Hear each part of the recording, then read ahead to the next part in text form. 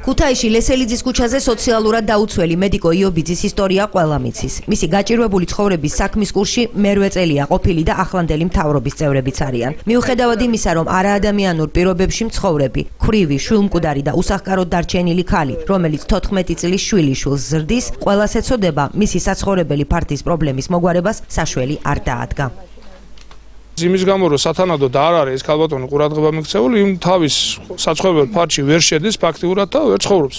და კი უყურებთ რა მდგომარეობაშიც უყავს მას და მის მცირეწლოვან შვილიშვილს რომელიც ერთადერთი გამზელს და მარჩენალის თვითონ არის ცხოვრება. ამიტომ მინდა მიმართო თქვენი ეთერის საშუალებით იმ ადამიანებს, რომელსაც რეალურად ეხება და ხელეწიფება ეს ყველაფერი, თვითმართველობას თუ ცენტრალურ ხელისუფლების წარმომადგენლებს, რომ ბატონებო, ვიდრე თქვენს თბილ სახლებში გაათებთ ღამეს და ნათლისღებას დაესწრებით, რომელიც ხვალდადგება, იქ რომ გაითვალისწინოთ ამ ადამიანის მდგომარეობა, მიიტანოთ გულთან ახლოს და რაიმენაირად ამ ადამიანს უსაშუალოდ გადაცეთ მას საკუთრებაში ის ფართი, რომელიც თავის დროზე მიცა ქუთაისის თვითმართველობამ, რომ ამ ადამიანსთან მიშვილიშვილს კონდეს ნორმალურ ადამიანურთან შედარებით ახლოს მყოფ პირობებში არსებობის საშუალება.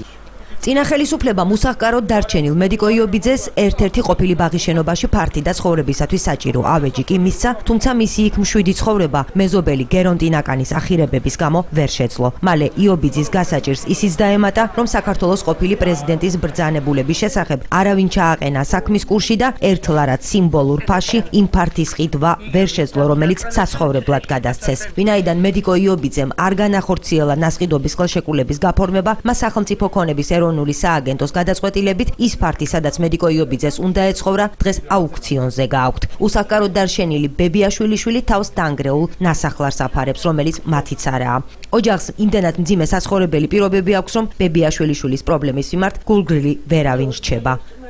უკვე 7 წელია ასე ვარ გაჭირებულა და ჩამეიგრა იმთავრობა წევიდა ემთავრობა მევიდა იმგერმა ბინამომცეს ნაგიმა და ქვე დადიანის 59-ში იქ ნაკადი დამხდა მერიაში მუშაობდა და ყველასთან კარგად იყო და მე არ შემიშვეში და ლარი არ გადამიხდია თუ როგორ დავიჯერ მარშრუტი დავდივ და ლარი არ მეკდებოდა ჯიმეზე ფხოს არ ვაძლებდი ფულს.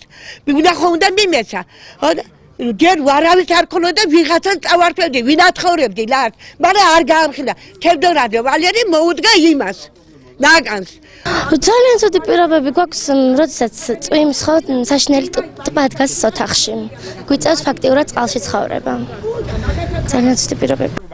ნაციონალური მოძრაობის ქუთაისის ოფისის წარმომადგენლები ახლანდელ თავრობას გაჭირვებულების დახმარებისკენ მოუწოდებენ. ადგილობრივ თვითმართველობაში კი აცხადებენ, რომ ზადარიან მედიკო იობიძის დასახმარებლად. 打头。2009-2010 წლებში, როდესაც პრეზიდენტის ზანების საფუძველზე მათ სიმბოლურ ფასად ერთლარად მიეცათ დაკავე მათ მიერ დაკავებული ფართები ამ ქალბატონს არ მოახდინა მაშინელმა ადგილობრივ მმართველობამ ამ ქალბატონის ინფორმირება, რომ მას უნდა გადაეხადა სიმბოლური ღირებულება 1 ლარი, რის გამოც მას არ გადაეცა საკუთრების მოწმობა. ჩვენ კიდევ ერთხელ ხას უსვამთ, რომ ჩვენ მზად ვართ ამ ქალბატონს შუამდგომლობა გაუწიოთ ეკონომიკის სამინისტროში, ამისაც აუცილებელია ის კიდევ ერთხელ მომძანდეს ჩვენ დავაწერიოთ განცხადება მერის სახელზე და გაუწევთ შუამდგომლობას.